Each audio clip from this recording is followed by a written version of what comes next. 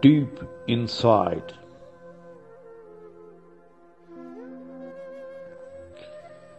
Go deep inside, search who is inside. It is not you who sits inside. Someone has rented inside. Go deep in thought. Think who you are. You are not there.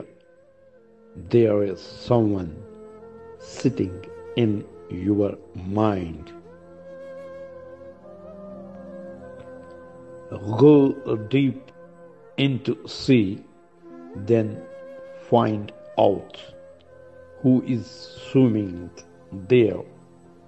It is not you, there is someone else. Go deep in your body, mind, and soul. Then see what is your connection. It is not only body.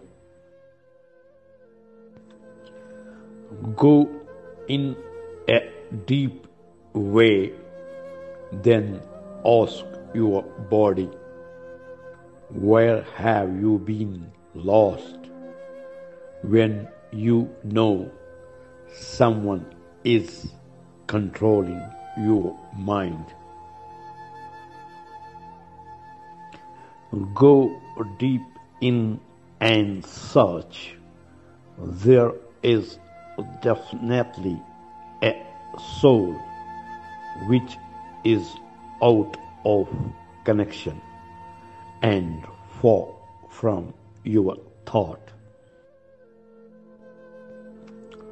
Look deep in your mirror. See if you are perfect. You may find you are out of connection. So there is restlessness in your body, mind, and soul.